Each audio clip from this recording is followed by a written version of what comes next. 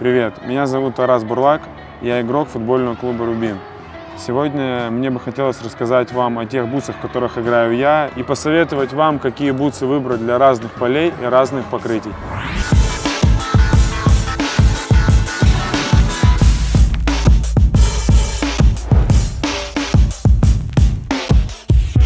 Лет в 20 или в 19 подписал контракт, и как-то привязанность была именно к одной модели. Вот у меня темпо модель. Для атакующих э, удобнее другие бутсы. Потоньше, полегче. Там. Мне не знаю, мне в них удобно, комфортно. Плюс подъем у меня такой не маленький. Я, потому что я пробовал другие бутсы, э, там, ваперы, и мне они не подходят, э, подъем не лезет. Видимо, ну, не для меня бутсы. А этот, ну, такой, ну, в командах, где я был, везде говорят, что чисто вариант для защитника. Но действительно в них играют, насколько я помню, и Пике, и Рамос, по-моему, в этих играют.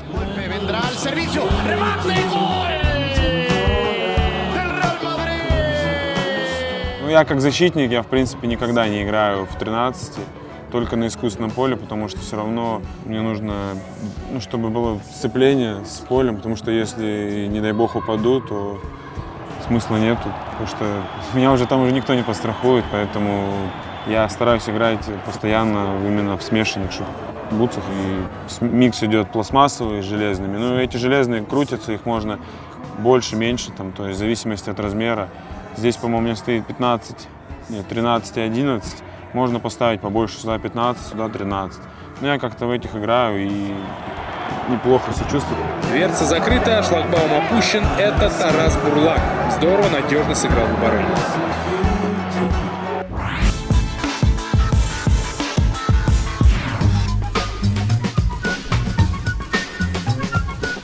Сахалине, когда я был в Самаре в первой лиге. Ну, Там был просто вообще бетон. Никакие бутсы не помогали. У нас даже два человека играло в шиповках тот матч. И один даже на замену вышел и вторым касанием забил в шиповках. А из э, зеленых, настоящих, наверное, плохое было в том году в Самаре, очень плохое, когда мы играли с Краснодаром. Ну, Краснодар же играет в комбинационный футбол, старается пас-пас, а там поле было вообще, ну, я даже не знаю, как сказать. Ну, все прекрасно видели, все показывали по телевизору. И мы думали, что сейчас, ну, хоть на этом поле у нас будет с Краснодаром шансы. А они приехали нам, и просто 4 загрузили. Единственная, команда, которая в том году нас полностью переиграла. 3-0 и 4-0. То есть там, видимо, дело не в поле. Смолов низом штрафную. Это правильное решение. Шикарная атака.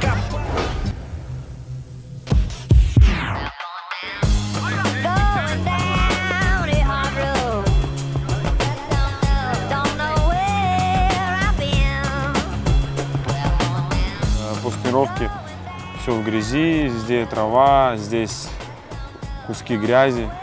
Ну, элементарно сначала под горячей водой, естественно, моешь щеточкой. Ну, ничего такого. Я бы не видел, чтобы кто-то из футболистов там кремом мазал или еще что-то. Но я знаю ребят много, кто и даже у нас в команде, кто не моет бутсы. То есть там, э, если их не помыть, то понятное дело, что будет все в грязи, и они в сухари превращаются, как мы говорим. Ну а после тренировок э, мы просто их вешаем. Специально есть такая у нас, не знаю, как полочки, наверное, и для бутсы. Мы их вешаем, чтобы они просто держали форму. И бывает, когда новые бутсы, то растяжки используют. То есть э, специально покупаются. Ну, во всех магазинах для обуви растяжки, ну, чтобы форму чуть-чуть растянуть.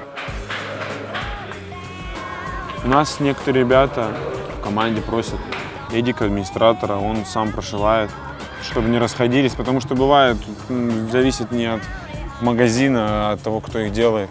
То есть мне вот, например, эти бутсы, когда они только пришли, мне их прислали первый день, я сыграл, по-моему, мы играли с крыльями, и я сыграл, и у меня они просто вот здесь порвались.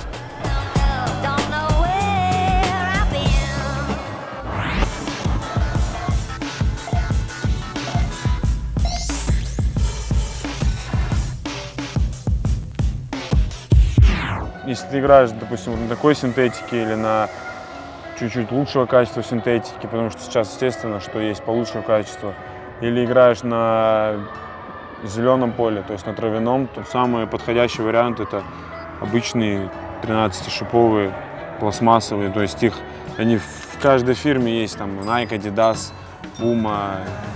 Также на искусственном, я считаю, можно сыграть.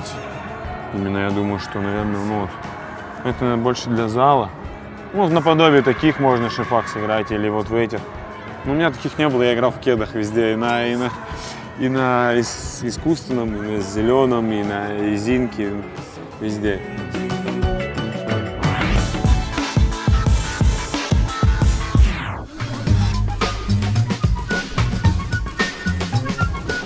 Гоша Нуров, который здесь тоже был в Рубине, знаю, что когда был маленьким, еще когда мы были в Локомотиве, в интернате, за него ходили слухи, то, что он перед играми с бутсами разговаривал. Ну, то есть там у кого какие приколы в голове. Да, удар поворотом. Гол! Пятый гол в сезоне забивает Шнуров. Я уже, наверное, например, даже, если честно, даже не помню, какой был перед вот этим цветом, какой цвет был, поэтому сложно вспомнить. Голубой с э, зел- зеленоватым. Помните? Да, да, да, да, Рыжик в них играет сейчас, да, да, да. И хотя ему новые пришли, но он говорит, что так как он старый, говорит, мне нужно их чуть-чуть отложить, чтобы потом достать, когда, говорит, я уже никому не нужен буду, бутсы мне никто давать не будет, я их потом с сундука достану, говорит, и буду играть. Поэтому да, я с ним разговаривал на этот счет.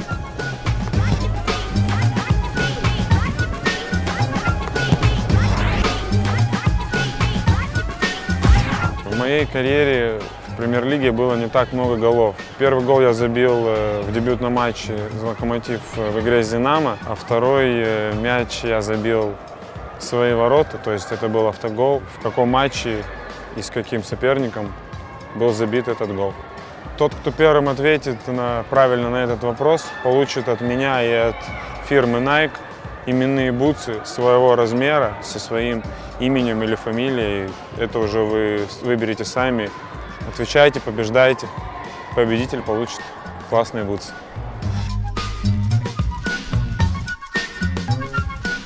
На этом все. С вами был Тарас Бурлак.